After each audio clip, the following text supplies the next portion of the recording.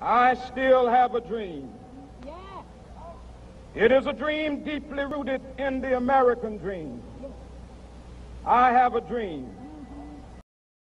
Martin Luther King Jr. was born on January 15, 1929. The civil rights leader is widely known by millions nationwide and possibly billions worldwide. Although the social activist is widely known, there are some interesting facts that most people are unaware of, like the fact that he was actually born Michael King Jr., not Martin, or that he entered college at the young age of 15 when in the 1940s, 11.5% of black people were considered illiterate, topping any other race. Our lives begin to end the day we begin to be silent about things that matter, said Martin Luther King Jr.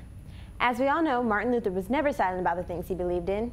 He was even arrested nearly 30 times for things like civil disobedience and trumped up charges like going five miles above the speed limit. To Martin, that was a small price to pay for not only his, but thousands of others' civil rights. Though Martin Luther was one of the most important civil acts leaders, he was also very vocal on other world topics, like the Vietnam War. If America's soul becomes totally poisoned, part of the autopsy must read Vietnam. It can never be saved so long as it destroys the hopes of men the world over. MLK. The Reverend was opposed to the bombings in North and South Vietnam.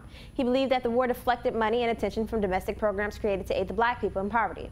When giving a speech in front of 3,000 people at Riverside Church in New York City, Dr. King stated, the war was doing far more than devastating the hopes of the poor at home. We were taking the young black men who had been crippled by our society and sending them 8,000 miles away to guarantee liberties in Southeast Asia, which they had not found in Southwest Georgia and East Harlem.